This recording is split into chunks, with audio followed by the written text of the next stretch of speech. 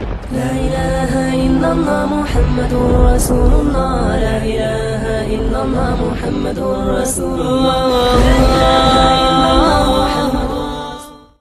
بہت سارے بھائی بہت دنوں سے یہ ریکویسٹ کر رہے ہیں کہ کیا کوئی ایسا عمل ہے کہ حضور اکرم صلی اللہ علیہ وآلہ وسلم کی زیارت ہو جائے؟ کوئی ایسا عمل، کوئی ایسا طریقہ؟ تو آپ کے ساتھ ایک طریقہ ایک شیئر کرتا ہوں میں۔ بزرگوں نے بتایا ہے کہ اگر کسی شخص کو حضور اکرم صلی اللہ علیہ وآلہ وسلم کی زیارت کا شوق ہو، تو وہ جمعے کی رات، اب جمعے کی رات پتہ ہے کون سی ہوتی ہے؟ یہ وہ رات ہوتی ہے جو جمعرات اور جمعے کے درمیان والی رات ہوتی ہے، اس کو جمعے کی رات کہتے ہیں۔ جو جمعے کا دن آپ نے جس دن نماز پڑھی ہے نا، اب جو رات آئے گی وہ تو پھر اگلے دن ہفتہ شروع ہو جائے گا۔ تو جمعرات کا دن گزار کے اب جو رات آئے گی وہ جمعے کی رات آئے تو بہرحال جمعے کی رات کو دو رکعت نفل نماز پڑھیں۔ ہر رکعت میں اب رات کو پڑھنا ہے، عشاء کے بعد پڑھ لیں۔ ٹھیک ہے؟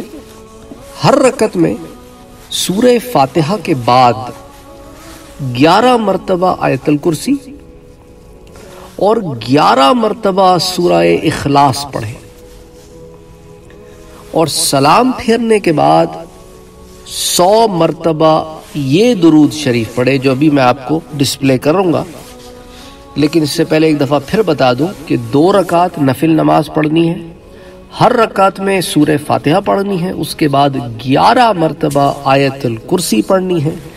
اور پھر اس کے بعد گیارہ مرتبہ سورہ الاخلاص پڑھنی ہے کہ قل هو اللہ احد، اللہ الصمد، لم یلد ولم یولد ولم یکن له کفوا احد۔ ٹھیک ہے؟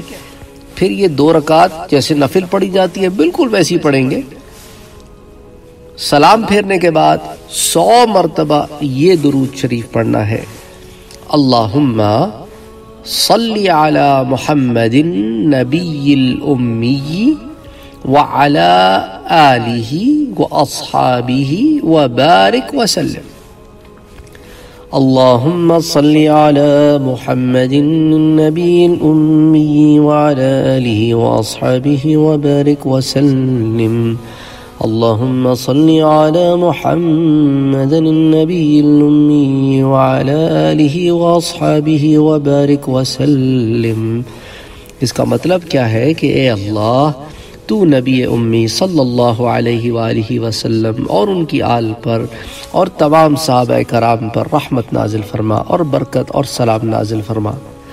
تو جو شخص چند مرتبہ یہ عمل کرے تو اللہ تعالیٰ اس کو حضور اکرم صلی اللہ علیہ وآلہ وسلم کی زیارت نصیب فرما دیتے ہیں۔ بشرطے کے شوق اور طلب کامل اور گناہوں سے بھی بچتا ہو۔ تو یہ ایک طریقہ بزرگوں نے بیان کیا ہے۔ اس کو اصلاحی خطبات کی جلد نمبر چھ، صفحہ نمبر ایک سو چار پر بھی بیان کیا گیا ہے۔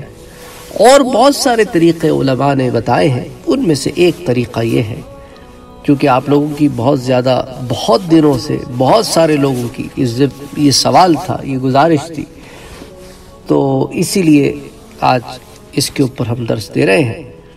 اللہ تعالی حضور اکرم صلی اللہ علیہ وآلہ وسلم کی زیارت سے ہم سب کو شرفیاب کریں اور ہمیں اس قابل بنائے کہ ہم اس زیارت کو کے قابل بنے اور اس زیارت کے ہونے کے بعد اس قابل رہیں کہ جس زیارت کے ہم مستحق تھے اس کا حق ادا کرتے رہیں اور اس زیارت سے اللہ تعالی روز محشر بھی محروم نہ رکھے اور جنت میں بھی محروم نہ رکھے وما علینا الا البلاغ